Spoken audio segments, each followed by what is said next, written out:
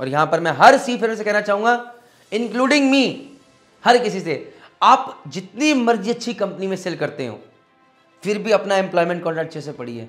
और हाँ अगर आपको आइडिया है कि आप एक खराब कंपनी में सेल करते हो, तब तो भाई एक नहीं, दस बार पढ़िए। जय हिंद, जय भारत, जय माता दी। डीजी शिपिंग हमारी हर तरफ़ से कोशिश कर रही है कि इंडियन सी फेयर्स के साथ जो हो अच्छा हो, और चाहे वो ऑनलाइन प्लेटफॉर्म लॉन्च करना हो, चाहे वो डिजिटलाइजेशन करना हो, चाहे हमारे लिए डॉक्यूमेंट्स यूज़ करना हो but things are drastically changing dramatically changing for the good इसमें डीडी शिपिंग नई पहल करी है।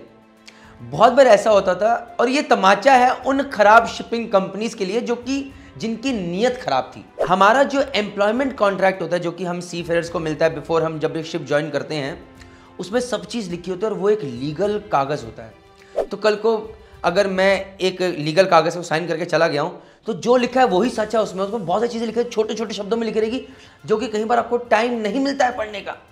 तो इन केस भगवान ना करे, एक किसी खराब शिपिंग कंपनी में आप चले गए, उन्होंने लास्ट मोमेंट पे आपसे बोला जल्दी जल्दी साइन कर दो, आपको शिप पे चढ़ना है। आपने बिना पढ़े वो अग्रीमेंट साइन कर दिया, आप जहाँ पे चले गए, आपको बोला तो तनख्वाह तो होगी फाइव हंड्रेड डॉलर लेकिन सैलरी कितनी लिखी थी? थ्री हंड्रेड डॉलर अब आप वहाँ फंस गए अब बोलेंगे, हम तो जी थ्री डॉलर देंगे। क्यों? क्योंकि आपको तो एम्प्लॉयमेंट कॉन्ट्रैक्ट में लिखा है कि थ्री डॉलर आपकी सैलरी है।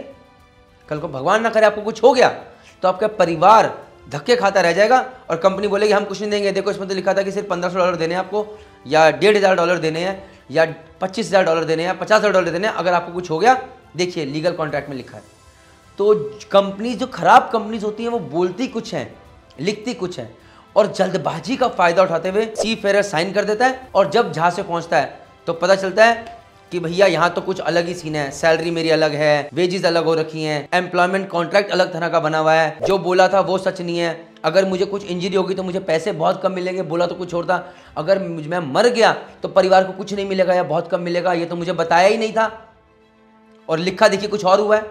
सो डी शिपिंग को जब ये कंप्लेन्स मिली तो उन्होंने अब ये चीज़ बोल दी है हर कंपनी को और बल्कि नोटिस निकाल दिया कि हर कंपनी वो सी फेयर के चढ़ने से शिप पे जाने से पहले या वो जब इंडिया से फ्लाई ऑफ़ करने वाला होगा उससे तीन दिन पहले वो एम्प्लॉयमेंट कॉन्ट्रैक्ट साइन करवाएँगे। तो तीन दिन पहले जब आपको एम्प्लॉयमेंट कॉन्ट्रैक्ट मिलता है तो आप जल्दबाजी में नहीं होते हो।